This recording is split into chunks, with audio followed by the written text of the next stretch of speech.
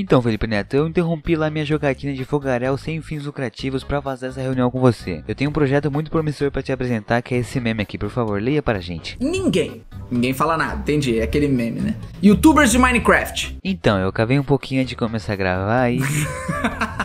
isso eu nunca fiz. Isso vocês não podem me acusar. É, realmente, você nunca deu aquela clássica mineiradinha em off, né? Só fez aquela construçãozinha em off. Tipo o Lucas Neto, né? Quando apareceu de um episódio pro outro. Mas é normal, é normal. Não vim falar disso hoje, não. Aliás, eu assisti a saga do PewDiePie. Ele faz muito isso. Muito. Muito? Muito. O PewDiePie, acho que ele nunca apareceu em um único episódio encontrando diamante. Talvez em um episódio encontrando um bloquinho de diamante. Você tá acusando o maior youtuber do mundo de usar criativo na série dele? Você tem certeza do que você tá dizendo, Felipe Neto? Quem sou eu para acusar alguém desse tipo de coisa? Quem sou eu? Por favor. Mas isso aí, ó, ninguém pode me acusar. Eu tenho farm de ferro, meu ouro sumiu. Ok, ok, Felipe Neto. Muito obrigado aí. Acho que a nossa dívida agora está paga. Você me patrocinou um conteúdo muito bom. Hoje nós vamos investigar o maior youtuber do mundo, o PewDiePie, que fez uma série de Minecraft aí ano passado. E vamos ver aí se ele já deu aquela mineradinha off, se ele já usou criativo, né? Vamos ver aí se nós encontramos indícios. Espero desde já que vocês gostem. Muito obrigado pelo seu like e bora lá.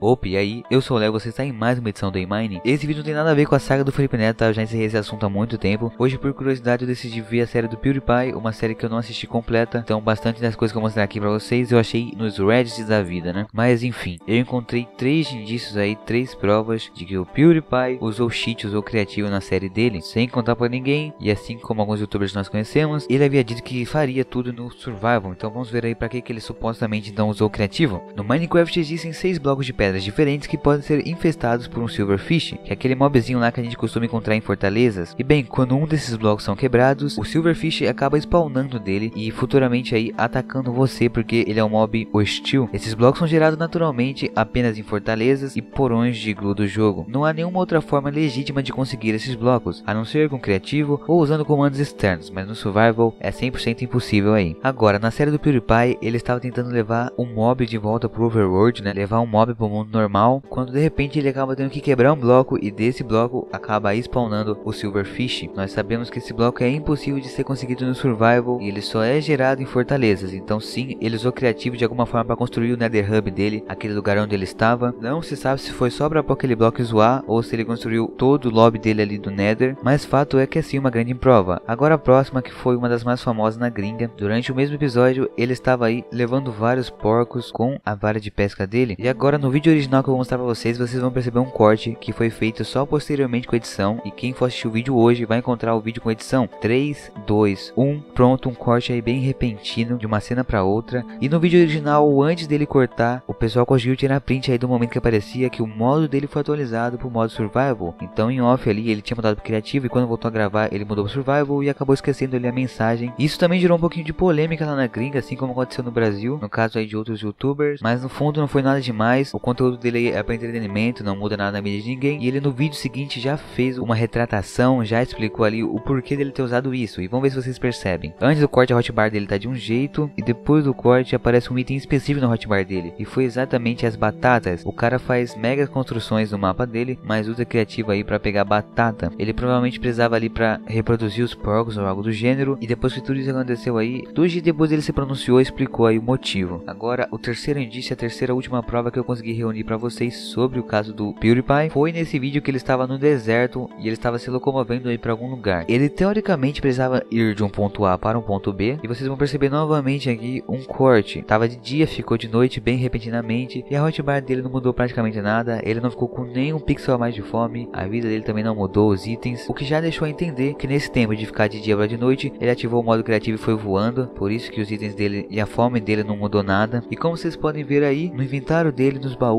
ele não tinha comida, ele não tinha nada aí que ele pudesse se alimentar. E depois aí, depois de ele andar muito, depois de outro corte, ele aparece aí com um bife assado no inventário dele. Claro que ele pode ter matado uma vaca aí, não sei, mas aí também bem suspeito. Nem sei se a espada dele tinha encantamento aí flamejante. O pessoal aí do Reddit que eu estava pesquisando considerou isso aí como criativo. São indícios aí, são hipóteses. Só deixando claro mais uma vez aí que muitos dos inscritos aí não ligam se ele usa ou deixa de usar algum artifício aí ilegítimo na série dele. Não muda nada na vida de ninguém e é apenas entretenimento momento, mas claro que algumas pessoas também não gostam, algumas pessoas se sentem traídas, algumas pessoas aí perdem até o gosto de assistir a série do youtuber. Lá os gringos fazem muito meme que ele fez construções gigantes e usou criativo para uma coisa tão besta aí que seria pegar batatas. Talvez nós investigarmos mais a fundo nós consigamos aí encontrar provas um pouco mais concretas e sólidas sobre outros casos que ele possa ter usado criativo. Pelo que eu tava vendo, uma coisa legal que ele fez foi uma mega torre inspirada em uma empresa dos Estados Unidos. O mapa dele é bem completo, já é um mapa bem jogado. Ele tem casa em outros biomas. Ele também faz totem quando os animais dele morrem. Ao longo da série ele fez muitos e muitos animais de estimação. Há toda uma dramatização bem interessante. As farms dele ainda eram farms manuais aí, farms que você tem que fazer o trabalho bruto, né? Pelo visto ele não assistiu nem um pouco de casa automática, que pena, hein? Ele também guardava o cavalo raro, né? O cavalo esqueleto, assim como os outros mobs que ele também reproduzia aí manualmente. Se já assistiu a série dele, comenta aqui embaixo para eu saber. Comenta também sugestões de novos vídeos e fiquem atentos aí que sábado vai sair o primeiro episódio da série Survival aqui no canal.